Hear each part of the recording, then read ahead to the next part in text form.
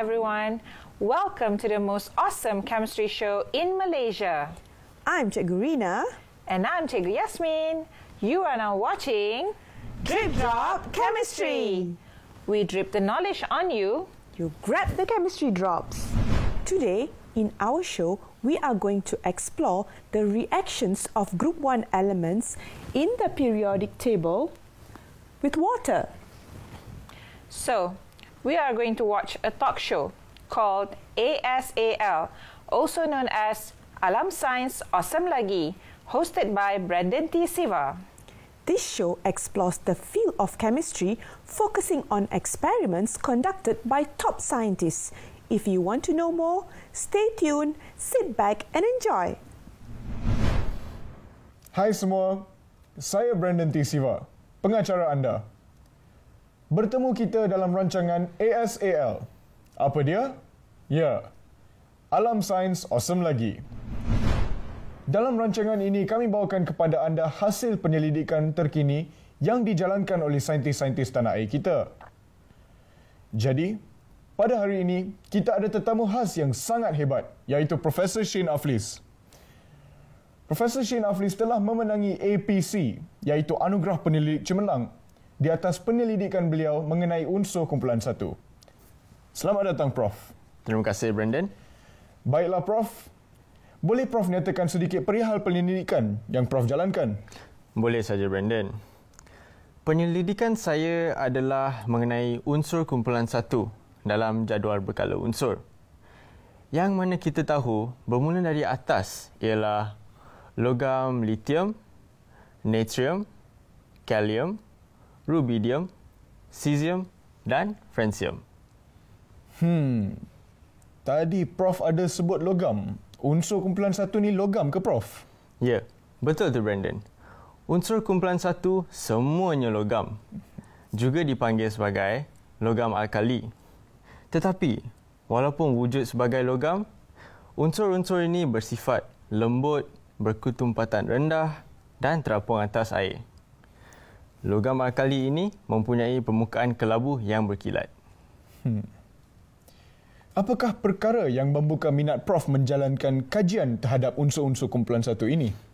Hmm, kerana sifat fiziknya yang sangat unik kepada saya. Apabila menuruni kumpulan satu, kita dapati jejari atom semakin bertambah tetapi takat lebur dan takat didihnya berkurang pula. Hmm, macam mana boleh jadi macam tu, Prof? Sebenarnya, mudah saja, Brandon. Apabila menuruni kumpulan satu, saiz atom semakin bertambah.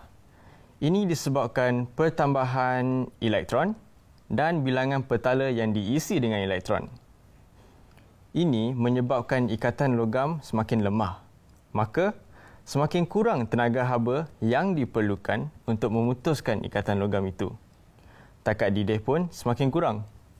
Hmm. Penerangan yang mantap dari Prof. Tapi kita dengar apa komen orang awam di luar sana. Adakah mereka sedar akan kewujudan unsur kumpulan satu ini? Ayuh kita saksikan. Terima kasih kepada rakan saya Brandon yang berada di studio. Saya Khairul Hakimi dari rancangan ASAL ingin menemu ramah dua orang netizen. Apakah yang encik tahu mengenai unsur kumpulan satu? Oh, perkara tu saya dah lama dah belajar. Ianya ter, ianya terdiri daripada Li, Na dan K. Unsurnya merupakan logam alkali. Sifatnya ialah lembut dan satu lagi permukaan ni yang kelabu berkilat. Terima itu kasih. itu saja yang saya tahu. Terima kasih encik. Sama-sama.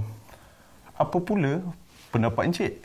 Setahu saya, apabila menuruni kumpulan satu, saiz atom unsur-unsurnya semakin bertambah. Tapi takat lebur dan takat didih pula semakin berkurangan. Saya rasa itu saja. Terima kasih, Encik. Kembali ke studio. Itulah dia komen daripada masyarakat di luar sana yang tahu perkembangan sains terkini. Berbalik kepada perbincangan kita, Prof. Bagaimanakah bentuk ujian yang Prof jalankan ke atas unsur kumpulan satu? Hmm. Dia macam ini, Brandon. Unsur kumpulan satu, semuanya ada satu elektron valence sahaja. Semakin kita menuruni kumpulan satu, kedudukan elektron valence ini makin jauh daripada nukleusnya. Jadi, saya menjalankan ujian kereaktifan logam lithium, natrium dan kalium apabila bertindak balas dengan air. Izinkan saya memanggil tiga pelajar saya untuk menerangkan hasilnya. Dijemput Kimi. Alright, what do we have here, Kimi? Hi, Prof. Lithium will react with water producing lithium hydroxide and hydrogen gas. What do you think, Prof? Hmm. It looks like lithium moves slowly and randomly on the surface of the water. But can you tell me about the color? Sure, Prof. Solution produce change phenolphthalein indicator from colorless to pink. That is correct. So, the solution is alkaline. Thank you, Kimi. Thank you, Prof. Next up, Hanif.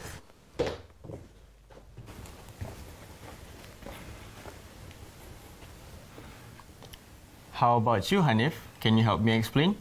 Hi, sir. Sodium will react with water to producing sodium hydroxide and hydrogen gas. Sodium moves quickly and randomly on the surface of water and producing hissing sound. Can you explain furthermore, sir? No problem, Hanif. Sure. The solution produced will also change the phenolphthalein indicator from colorless to pink. Therefore, the solution is alkaline. Thank you, Hanif. Thank you. Next, Pavin.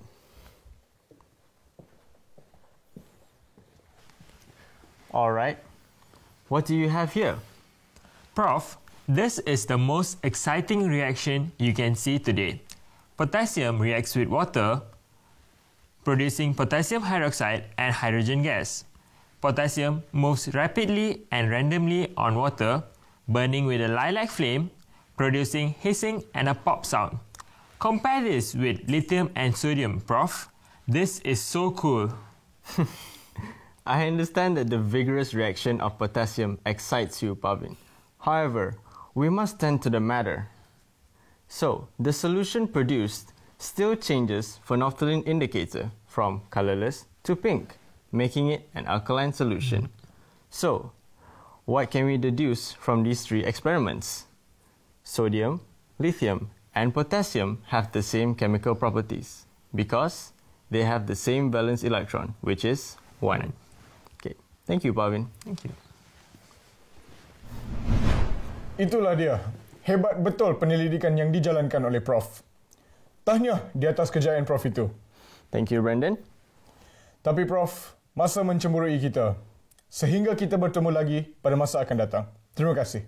Terima kasih, Prof. Thank you, Brandon. Okey murid-murid, faham tak apa yang Prof Shin terangkan dalam wawancara yang dipaparkan tadi? Kita dah tahu bahawa bagaimana unsur kumpulan satu bertindak balas dengan air. Ha, unsur kumpulan satu juga boleh bertindak balas dengan oksigen. Okey, itu sahaja untuk hari ini. Jumpa lagi dalam episod Drip Drop Chemistry.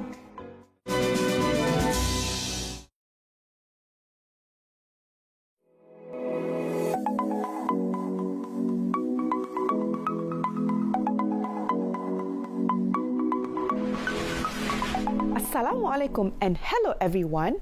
Welcome to the most awesome chemistry show in Malaysia. I'm Cikgu Rina. You are watching Drip Drop Chemistry. We drip the knowledge on you, you grab the chemistry drops. Today, we are going to explore the reactions of group 1 elements in the periodic table with oxygen. So, are you ready? Let's watch a talk show hosted by Brandon T. Siva. Hello, everyone. I'm Brandon T. Siva, your host. We meet again in ASAL. Yes, Alam Science Awesome lagi. Today with us in the studio is a well-known guest. Please welcome the multi-award winner, Cikgu Yasmin. She was the first teacher in Malaysia and Southeast Asia to be shortlisted as the top 50 finalists for the Global Teacher Prize back in 2015. Thank you, Brandon. Cikgu, I know that Group 1 elements can react with water. Can you explain to us on why the reactivity of the elements differ? Okay, Brandon, why not? Okay, let us look at the diagram of the electron arrangement of the group 1 elements. Now we have lithium atom that has an electron arrangement of 2 1, while sodium atom has an electron arrangement of 2 8 1. Meanwhile, we have potassium atom that has an electron arrangement of 2 8 8 1. Now, going down group 1, the number of shells filled with electrons increases, thus making the atomic size increases too. The position of valence electron are further away from the nucleus of the atom. So, this causes the forces of attraction between the nucleus and the valence electron to be weaker. So, the valence electrons can be easily donated. So, Brandon, as we go down the group, the reactivity of group 1 elements increases. Hmm. Now that's an extensive explanation, Cikgu. Thank you. I was informed that, Cikgu, you yourself did a research on the reactivity of group 1 elements. That's right. Now, viewers out there, Cikgu Yasmin's team has done a research on the reactivity of group 1 elements with oxygen. Or we can say burning, eh, Cikgu? Yes, definitely. Let's watch the feed. Thank you, Cikgu and Brandon. I am Shane, I am Pavin. I am Kiminogen. and today we are going to show you the reactions of lithium, sodium, and potassium with oxygen. Allow me to start off. A small piece of lithium is placed on the deflagrating spoon and burnt. The spoon was then placed in a gas jar filled with oxygen. And as you can see in this video, lithium burns slowly with a red flame. The reaction between lithium and oxygen produces lithium oxide. The next reaction will be explained by my friend Pavin. Thank you, Shane. What we can see here is a small piece of sodium is burned on a deflagrating spoon. The spoon is then placed in a gas jar filled with oxygen. Look at that! Sodium burns with a yellow-orange flame. The reaction between sodium and oxygen produces sodium oxide. Kimi, yours the best lah. Come on, Pavin. We have done this so many times together. Hi, everyone. A potassium placed in the deflagrating spoon and burnt. Deflagrating spoon was placed inside a gas jar filled with oxygen. Wow, look at that. The potassium burns brightly with a lilac flame. The reaction between potassium and oxygen produce potassium oxide. Now, that's chemistry. Thank you, Kimi and Pavin. Well, there you go. Lithium, sodium, and potassium reacts with oxygen, producing multicolored flames. Hmm, Cikgu, how about testing the products for its alkaline properties? Oh, Cikgu, there's a question for you. Oh, okay. Um, yes, Shane. Um, we could pour some distilled water after the reaction has cooled down and add few drops of phenolphthalein into the solution. Hmm, let me guess, Cikgu. The solution turns pink due to the presence of alkaline solution. Good job, Brandon. You definitely pay attention in your chemistry class. Thank you, Cikgu. Okay.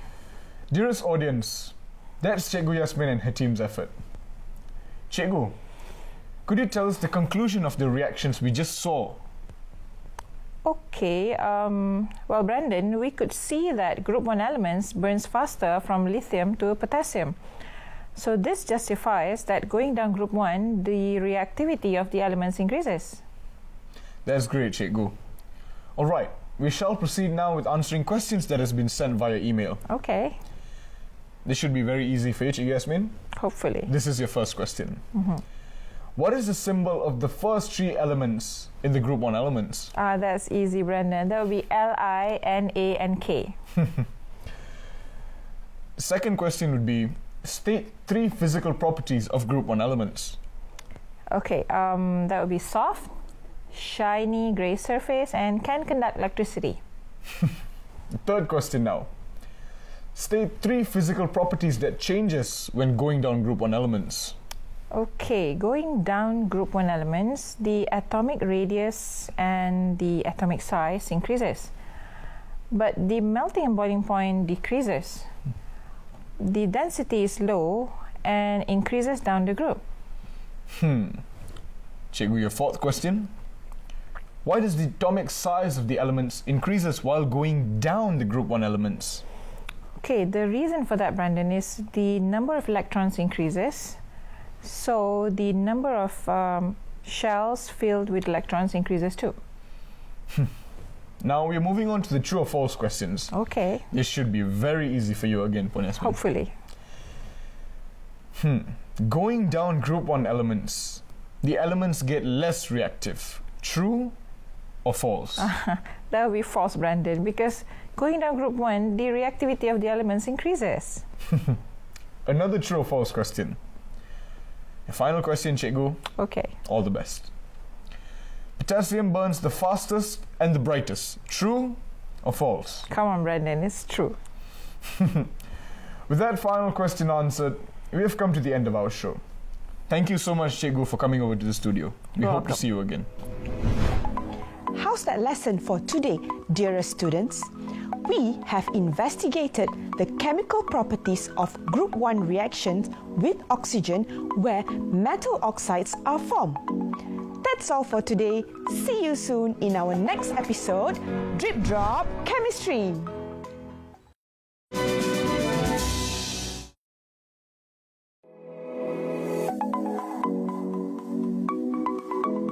Assalamualaikum dan selamat sejahtera.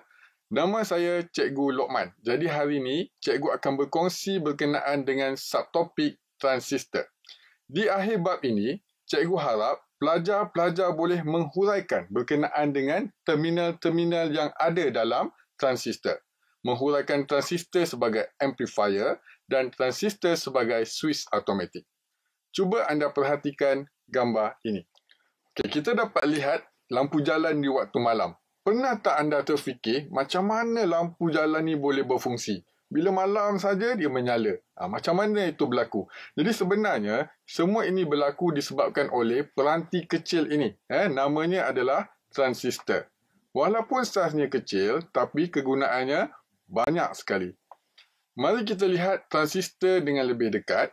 Transistor mempunyai tiga terminal iaitu tapak, pengumpul dan pengeluar.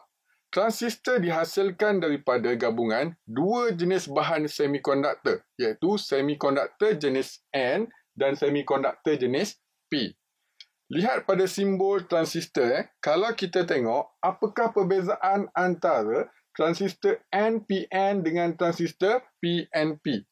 Okay. Jika NPN arus adalah keluar melalui terminal pengeluar tapi jika PNP sebaliknya.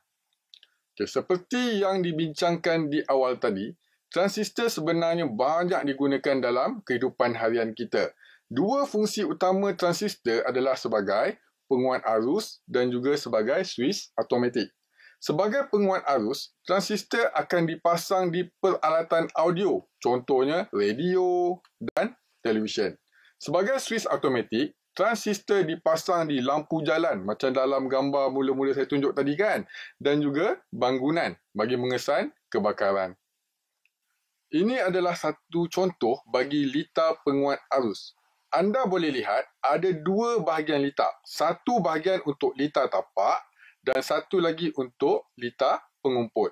Kita fokus pada transistor. Kita dapat lihat arus masuk dari terminal tapak dan pengumpul. Jadi, secara tidak langsung menyebabkan nilai arus yang keluar pada terminal pengeluar adalah besar. Kita lihat pada formula iaitu IE sama dengan IB tambah IC. Dan formula yang cikgu nak awak ingat lagi satu adalah gandaan arus bersamaan dengan IC per IB. Sekarang kita tengok contoh soalan yang melibatkan transistor sebagai penguat arus.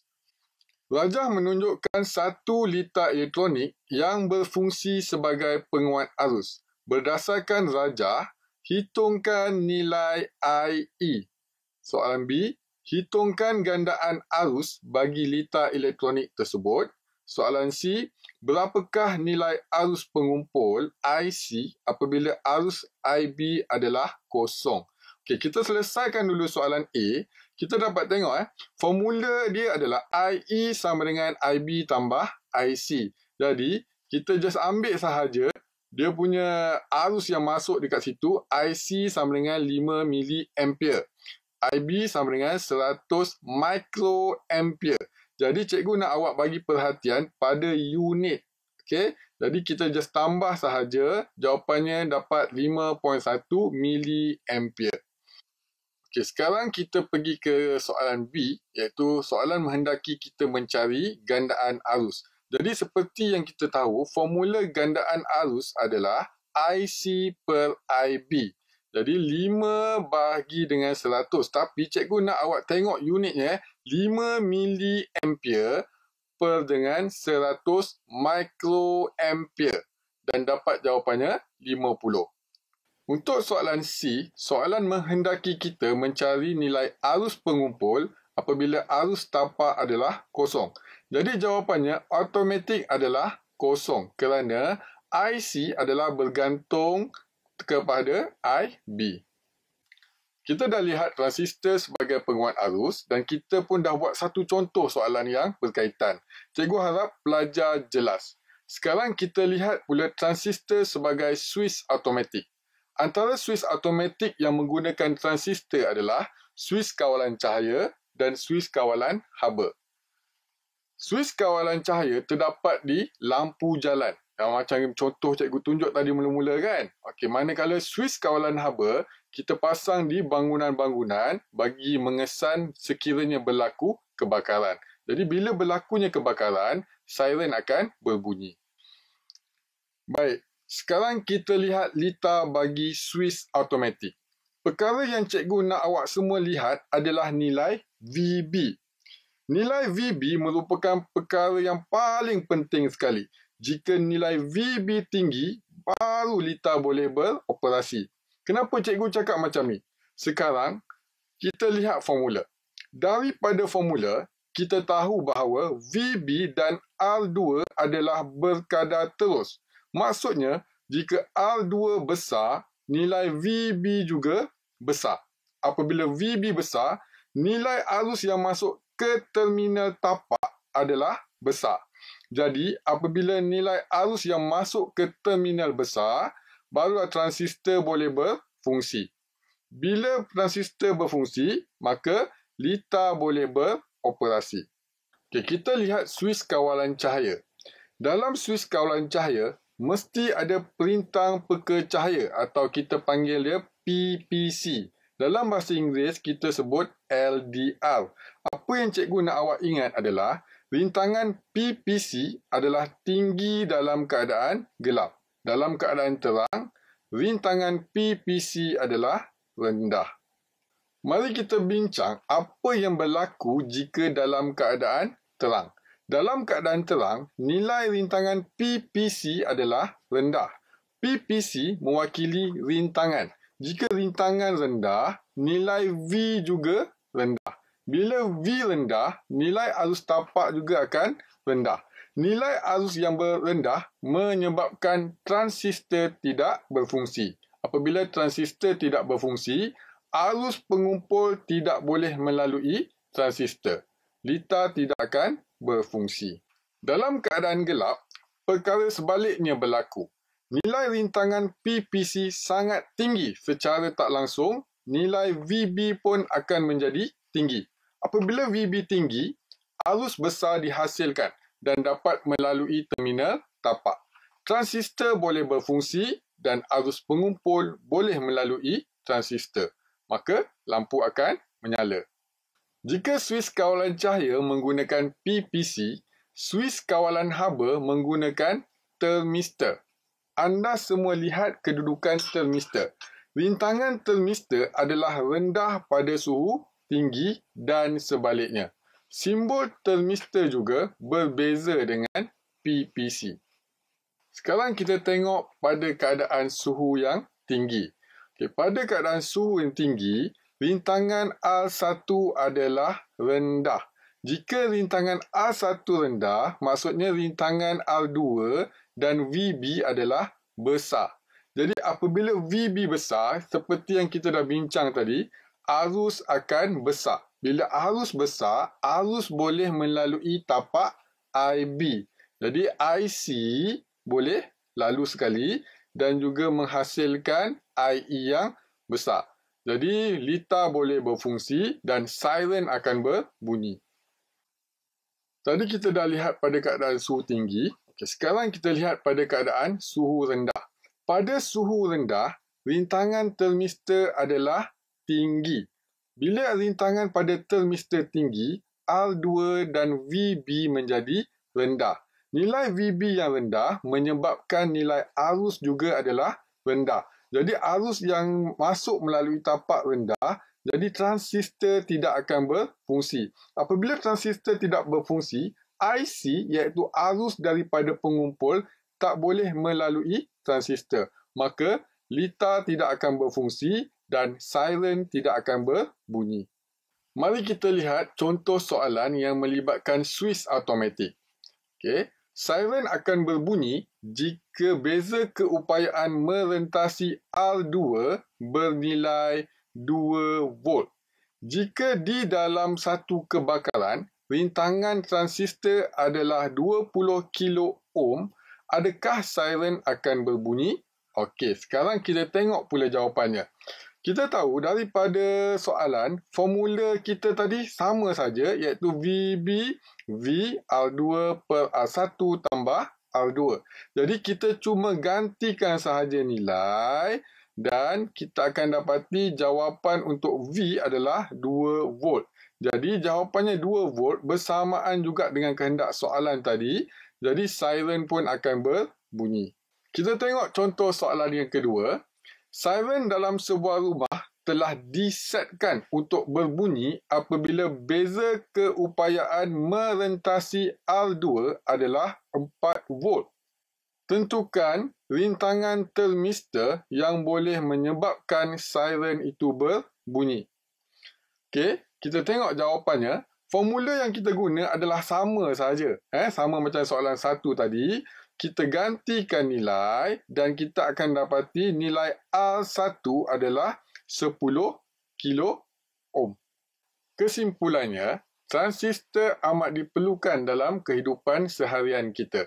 Walaupun kita tak sedar, tapi transistor sangat penting fungsinya. Cikgu juga berharap pelajar jelas tentang fungsi transistor sebagai suis kawalan cahaya dan haba. Baik, Sekian sahaja daripada cikgu. Terima kasih.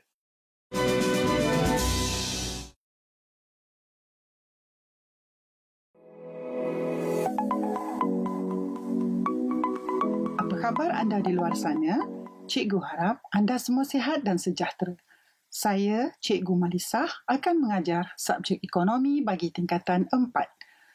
Tajuk yang akan cikgu kongsikan pada hari ini ialah produktiviti. Di penghujung tajuk ini, kita akan dapat mengetahui dua perkara seperti di paparan skrin. Pertama, konsep produktiviti. Kedua, menjelaskan faktor-faktor yang mempengaruhi produktiviti. Sebelum itu, mari kita berkenalan dengan Suzy. Lihat di paparan.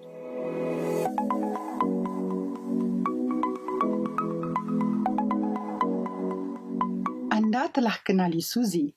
Dia ingin tahu adakah butiknya semakin produktif berbanding dengan lima tahun dahulu. Sekarang, mari kita lihat di paparan skrin apakah produktiviti. Produktiviti bermaksud keupayaan untuk meningkatkan penghasilan output daripada sejumlah input mengapakah Suzy perlu pastikan produktiviti butiknya meningkat?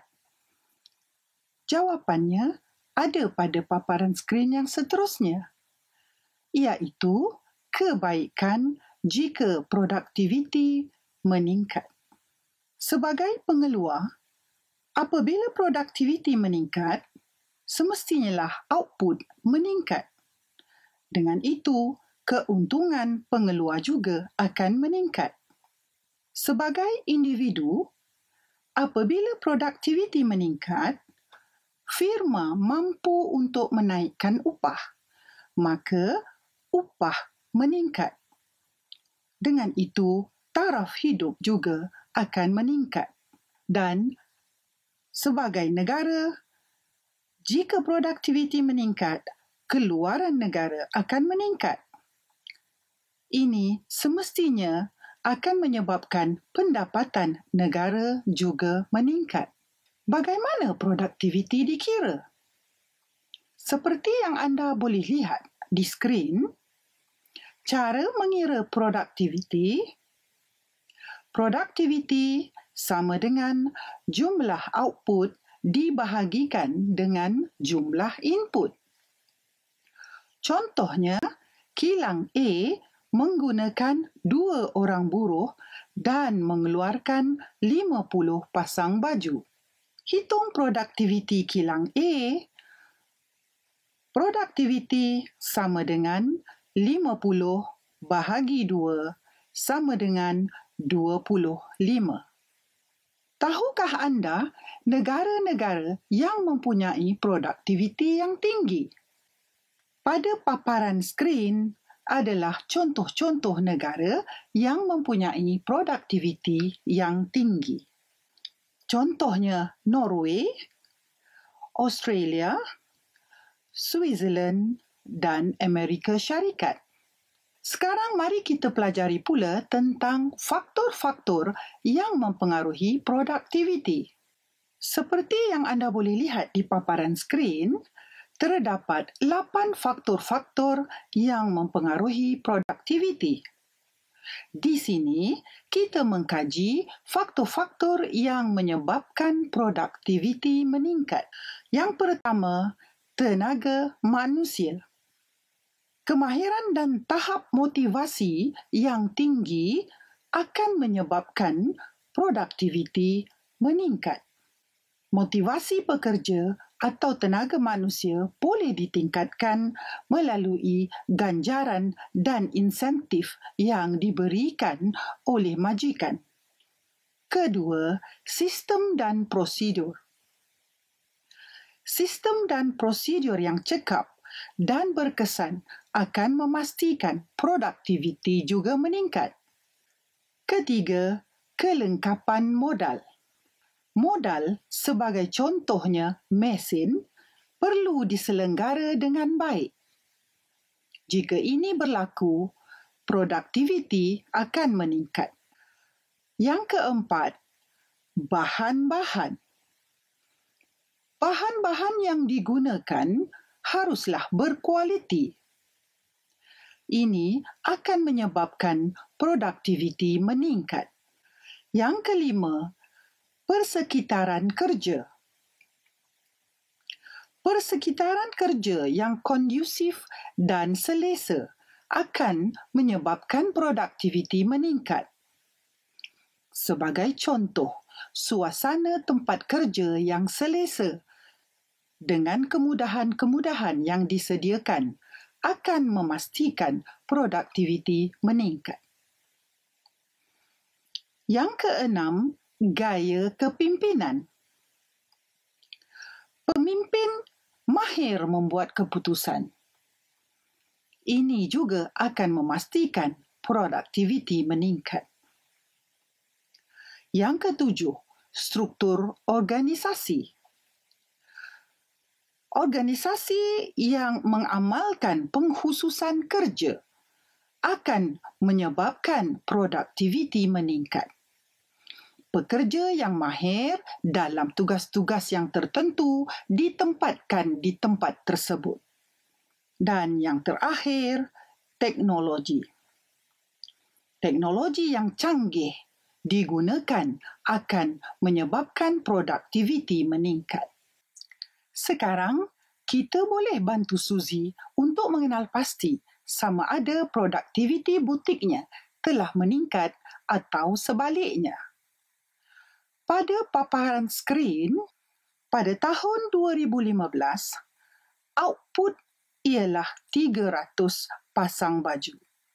Produktiviti dikira 300 pasang dibahagikan dengan dua orang pekerja. Jadi, produktiviti ialah 150. Manakala pada tahun 2020, output yang dihasilkan ialah 800 pasang baju. Produktiviti dikira 800 pasang dibahagikan dengan 5 orang pekerja. Maka produktiviti ialah 160 kita dapati bahawa produktiviti butik Suzy telah meningkat dari 150 ke 160. Sudah tentu beberapa faktor telah digunakan dengan baik oleh Suzy bagi menyebabkan produktivitinya meningkat. Sebelum kita mengakhiri pelajaran pada hari ini, mari kita imbas kembali apa yang kita telah pelajari seperti di paparan skrin. Yang pertama, konsep produktiviti dan yang kedua, faktor-faktor yang mempengaruhi produktiviti. Demikian tadi, cikgu telah kongsikan tajuk produktiviti. Cikgu harap kamu telah faham tajuk ini dengan baik dan boleh membincangkannya di dalam kelas nanti. Selamat mencuba dan jumpa lagi.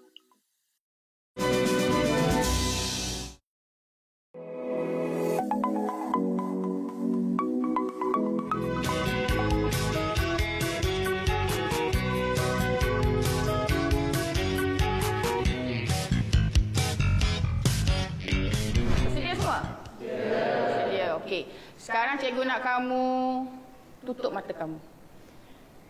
Okey, tutup mata. Pertama sekali cikgu nak kamu sentuh muka kamu. Okey, sentuh. Okey, dapat rasa tak muka kamu? Okey, sekarang ni cikgu nak dalam keadaan pejam mata, cikgu nak kamu bongkokkan badan kamu dan sentuh hujung kaki. Dalam uh, aktiviti PDP ini, saya mulakan dengan aktiviti yang mudah di mana dia, dia akan melakukan aktiviti seharian yang dia boleh lakukan dan dia tidak melibatkan bahan-bahan yang sangat complicated lah. Jadi dari situ saya akan cuba mengajak pemikiran anak-anak murid saya supaya dia boleh sedar bahawa dalam aktiviti seharian dia tu ada bahagian pada badan dia uh, dia boleh gunakan untuk melakukan aktiviti sama ada dia menutup mata atau tidak lah. Cikgu nak kamu cari pen dalam keadaan tutup mata, cari pen dan kertas, tulis nama kamu. Ha, cuba sekarang. Ha, ni orang buta dah ni, Alibaba ni. Ada pen? Oh, ada pen.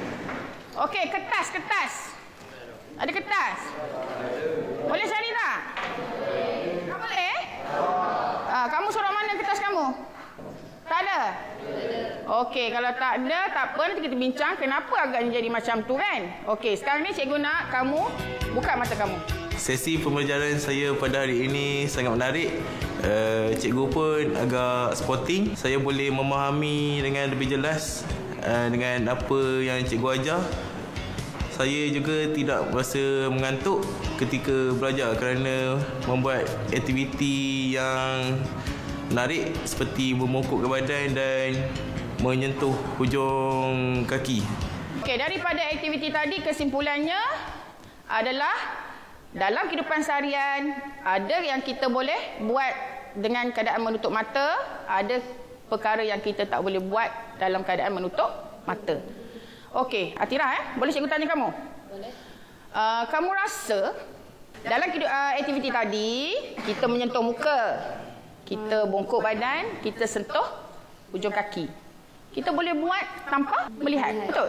Betul. Okey, tapi kita boleh tak cari pen, cari kertas tulis nama tadi? Tak, tak boleh. Ha, okey. Boleh Atira terangkan kenapa agaknya sukar nak cari pen dan kertas? Kerana uh, aktiviti yang seperti menyentuh muka, tunduk badan dan pegang kaki uh, kita membuat tiap hari. Manakala okay. tutup mata sambil cari pen tu adalah satulah satu cara yang kita tidak lakukan setiap hari. Oh, tak buat setiap hari kan? Hmm. Betul. Maksud benda tu berlaku uh, mengikut kehendak kamu lah. Kalau ada masa kamu akan buat, ada masa tak. Jadi ya. benda tu bukan rutin. Macam tu? Betul. Menyentuh muka tu adalah rutin? Ha. Okey, okay, terima kasih Atira. Boleh duduk. Okey, kalau cik uh, kamu lihat pada di sebelah kiri makmal tu, cikgu ada sediakan enam set radas. So kamu akan buat kerja dalam kumpulan kamu masing-masing seperti yang kita dah tetapkan. Okey, so cikgu nak sekarang ni ketua kumpulan sila bangun dan ambil alat radas masing-masing.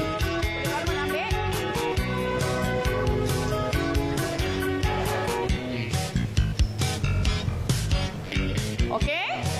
Sekarang ni ketua uh, saya nak kamu pegang kad pink tu. Itu kad arahan untuk aktiviti kita pada hari ini.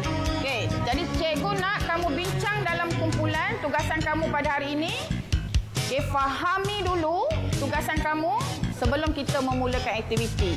Saya bagi awak masa dua minit lah untuk berbincang dalam kumpulan.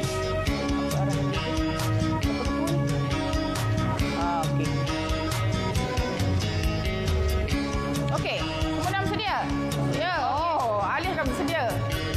bagus. Buat sekarang. Nak tengok mata siapa yang kamu nak tutup tu. Pastikan dia tak nampak ya. Tak nampak tu. Taifan. Tak nampak? Pasti. Okey. So sekarang ni uh, saya nak awak letakkan barang-barang yang hendak disusul oleh rakan kamu yang telah ditutup mata tadi di depan dia. Okey. So kalau begitu kita boleh mula sekarang.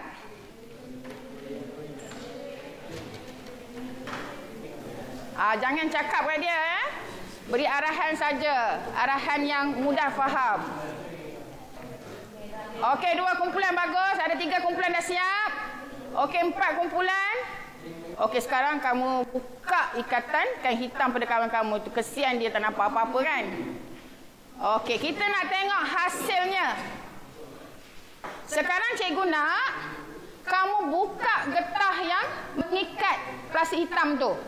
Okey, plastik hitam yang kamu dah cabut tu boleh letak dalam raga yang cikgu sediakan tu.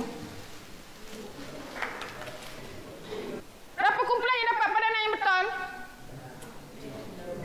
Berapa kumpulan?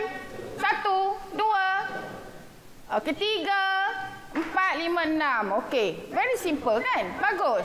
Okey, tepuk tangan untuk diri kamu. Okey. Okey, eh. so tanya eh, kerana kamu berjaya melakukan aktiviti tadi, nampaknya ahli kelas kita semuanya normal lah. So semuanya mempunyai keupayaan untuk melakukan aktiviti seharian dengan normal. Okey, eh. so aktiviti tadi sebenarnya dia uh, nak menyedarkan kita bahawa pada setiap hari kita melakukan uh, banyak aktiviti tanpa sedar. Okey, masa kamu melakukan aktiviti tersebut, bahagian mana badan kamu yang kamu gunakan untuk menyusun objek tadi. Siapa? Okey. Atira, boleh sila jawab soalan cikgu tadi? Bahagian tangan. Bahagian tangan. Okey. Bahagian tangan. Betul tak? Selain itu, selain pada bahagian tangan, kamu kena fikir tak? Guna. Okey. Bahagian mana yang kamu guna untuk menyusun tadi? Otot bahagian otot. Okey. Sekarang ni uh, kalau kamu perhatikan kamu menyusun dengan menggunakan tangan kan? Okey, sekarang ni cikgu nak okey, terima kasih Atira duduk. Cikgu nak semua orang letakkan tangan dia ke depan. Okey, dan pegang bahagian bawah tangan kamu. Okey. Okey. Kemudian cikgu nak kamu Okey, rasa bahagian tangan kamu apabila kamu gerakkan. Rasa tak? Rasa? Okey, apa yang Atira rasa? Ada rasa otot. Otot awak? Ha. Otot? Okey, otot. Oh, dia rasa otot. Okey. Apa berlaku pada otot kamu tadi? Regang. Ha, regang. Regang. Okey, rasa regang. Kendur. Okey, rasa kendur, rasa regang. Okey, terima kasih Atira. Okey, apa yang berlaku pada hari ini sebenarnya adalah reseptor regang. Okey. So, reseptor regang ni dia ada dalam badan kita. Okey, dia membantu tubuh badan kita mengkoordinasi kan? Betul? Okey, so reseptor regang ni ada pada empat bahagian yang kamu sebut tadi iaitu otot, sendi, tendon, ligamen. Okey, apa yang cikgu nak tunjukkan di sini adalah bahagian-bahagian yang terlibat semasa pergerakan di dalam otot. Okey, semasa kita menyusun botol tadi. Okey, kalau kamu perhatikan di situ, ada beberapa bahagian yang terlibat. Okey, ada sesiapa yang boleh bantu cikgu tak? Apa P tu? Okey, ha, boleh boleh Irfan? Uh, P itu bahagian otot. Okey, betul. Itu adalah otot eh? Itu adalah otot. Okey, terima kasih Irfan. Duduk. So, um, dia melibatkan beberapa neuron. Boleh tak kamu kenal pasti apakah neuron Q? Okey, Anas.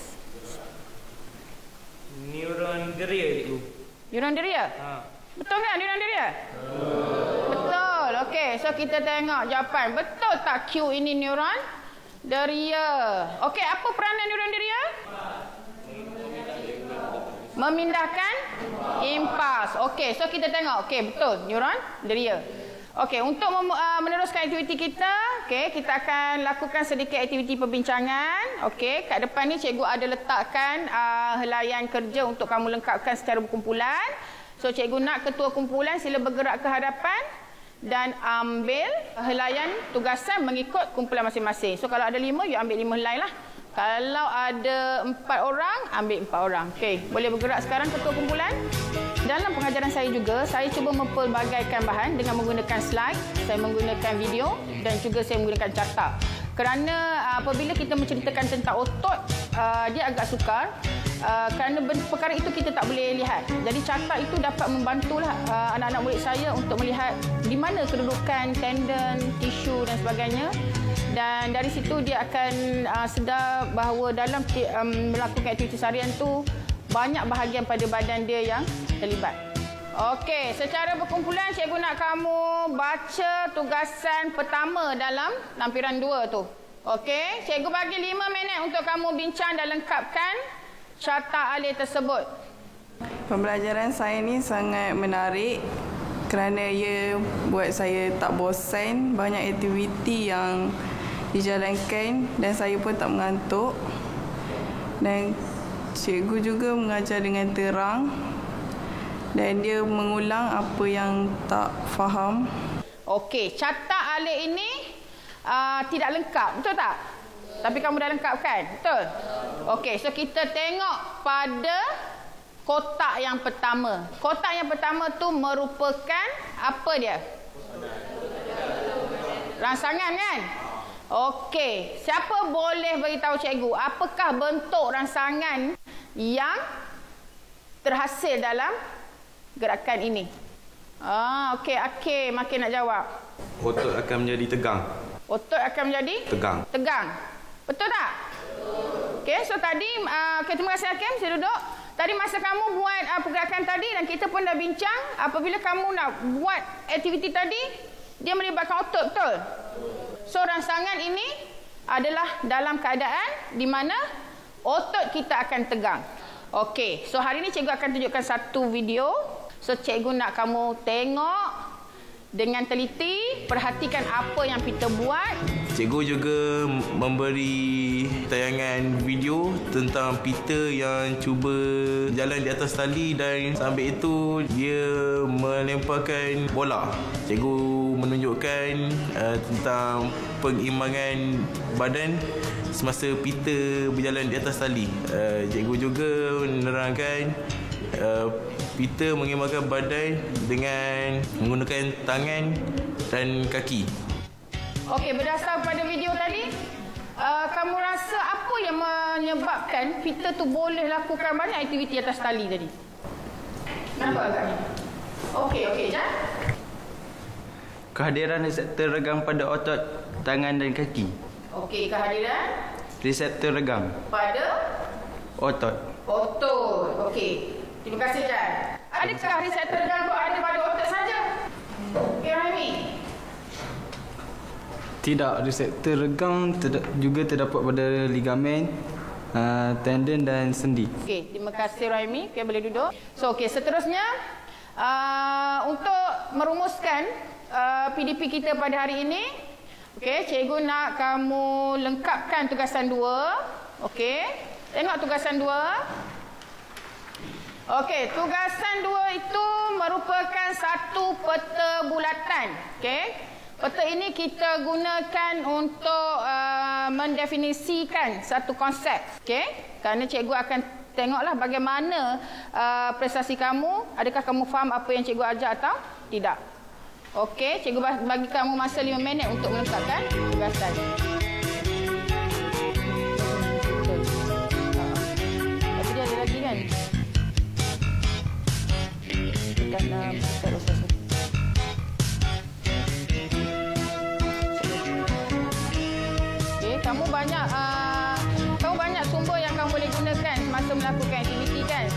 Daripada apa yang kamu dah pelajari tadi, okey, kamu boleh rujuk juga pada buku teks dan juga nota kamu. Aku ke sana pun tak apa, bincang dengan kawan. Okey? Ah, kan?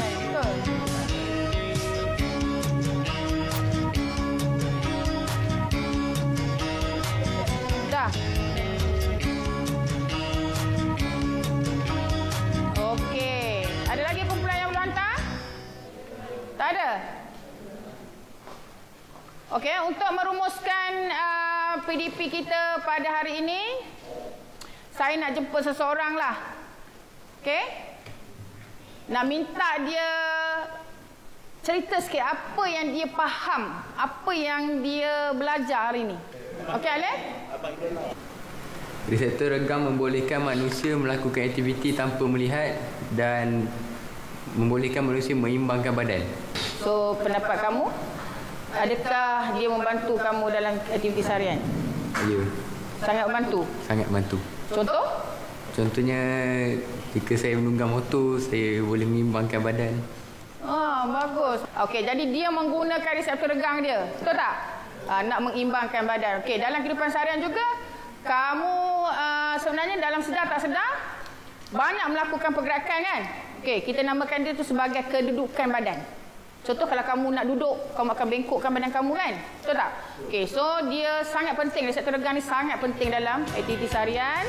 Dalam aktiviti peneguhan, uh, saya menggunakan juga IT Max sebenarnya, iaitu carta alih dan juga peta bulatan lah. Di mana carta alih tu saya nak menunjukkan bagaimana impas semasa aktiviti yang melibatkan reseptor regang dan peta bulatan itu saya gunakan untuk mentafsir sebenarnya dia saya bagi di hujung uh, di hujung PDP dia lebih kepada saya nak mentafsir apakah pengetahuan dan juga pemahaman yang saya dah bina uh, kepada anak murid saya sepanjang sesi PDP itulah pendapat saya lah kepada rakan-rakan guru-guru sains yang uh, lain pengajaran ini akan membantu kita menjadikan aktiviti pengajaran itu lebih berkesan.